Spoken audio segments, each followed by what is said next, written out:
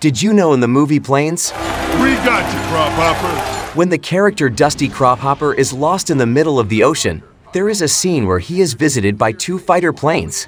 Didn't you notice that the two fighter planes were wearing familiar looking helmets? But Hawaii is 375 miles southwest of here. Well, the helmets worn by the two fighter planes are actually very similar to the helmets worn by two characters in the 1986 movie Top Gun, namely the helmet worn by the character Iceman, one of Maverick's pilots and friends, while the other helmet belongs to the character Goose, Maverick's co-pilot who is also the father of Rooster in the latest Top Gun movie in 2022. breaker. Try that. There's 300 breakers back here. Anything more specific? I don't know. That was your dad's department.